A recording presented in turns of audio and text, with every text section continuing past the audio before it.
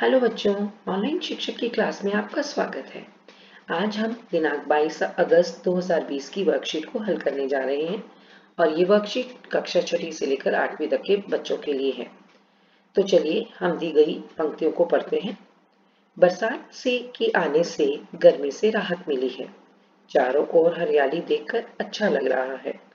बरसात में होने वाली जलजनित बीमारियाँ तथा अन्य बीमारियाँ जैसे डेंगू, टाइफाइड, मलेरिया आदि से बचने के लिए हम सावधानियाँ बरतने लगे हैं।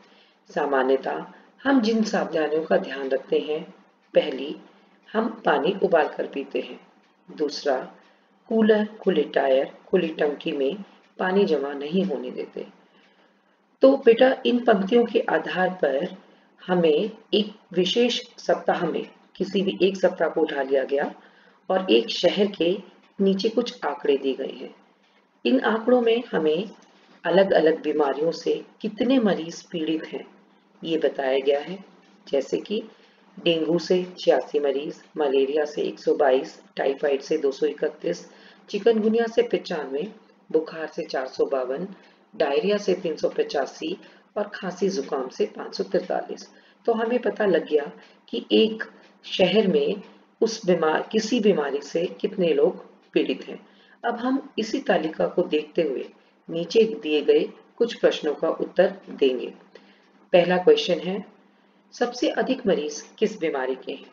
अब हम अगर तालिका को ध्यान से देखते हैं तो हम देखते हैं कि सबसे ज़्यादा खांसी जुकाम में 543 लोग मरीज़ पीड़ित हैं। तो इसका उत्तर हमारे पास हुआ खांसी जुकाम। इसी तरह दूसरा प्रश्न पहले प्रश्न की तरह ही है, बिल्कुल सेम है तो आप इसका आंसर भी वही देंगे।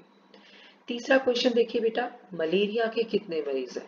अब हमें कहीं और नहीं, सीधा मलेरिया को देखना है और उसके नीचे पीड़ित मरीजों की संख्या जो कि है 122 वो देखनी है। तो इसका उत्तर हमारे पास आ गया 122 चौथा क्वेश्चन डायरिया और चिकनगुनिया के कुल कितने मरीज़ हैं? अब इसमें दो बीमारियों के नाम हैं और दोनों के कुल मरीज़ हमसे पूछे गए हैं। तो कुल का मतलब हमें जमा करना है। तो डायरिया के आप देखिए, तीन मरीज़ और चिकनगुनिया के पिचानवे। अब अगर हम इन दोनों को जोड़ते हैं तो हमारा चौथे का उत्तर आता है 480 मरीज़। तो ये हो गया चौथा क्वेश्चन अब पांचवा क्वेश्चन देखिए बेटा। बरसात के दिनों में बीमारियों से बचने के लिए हमें और किन सावधानियों का ध्यान रखना चाहिए? आपने जब हमने पंक्तियाँ पढ़ी तो आपने देखा कि हमें दो सावधानियाँ पहले से दी गई हैं कि हम पानी उबाल कर पीते हैं और दूसरा, हम कूलर, खुले टायर, खुली टंकी में पानी जमा नहीं होने देते। तो अब इनके अलावा हम और क्या सावधानियाँ बरत सकते हैं ताकि बरसात के दिनों में हमें बीमारियाँ ना हो? तो बेटा, उसके लिए सबसे अच्छा आप सावधानी लिख सकते हैं कि आप अपने घर में और आसपास कूड़ा जमा ना होने दें। क्यों?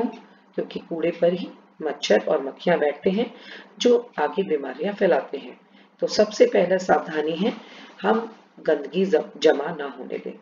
और दूसरी सावधानी, क्योंकि आपको बताया गया है कि ऐसे मौसम में जल जनित बीमारियाँ बहुत ज़्यादा रहती हैं। जल जनित मतलब जल के वजह से गंदे पानी में जाने की वजह से या पीने की वजह से हमें बीमारियाँ हो जाती हैं।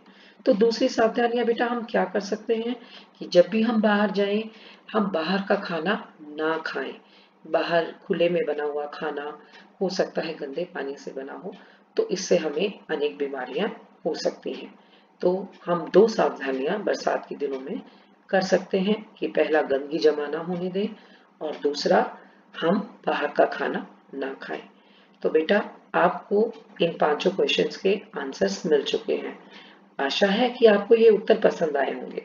और अगर आगे भी आप ऐसे ही हमसे इसी तरह से उत्तर की आशा करते हैं तो हमारा यूट्यूब चैनल ऑनलाइन शिक्षक ज़्यादा से ज़्यादा लाइक और सब्सक्राइब करें। Thank you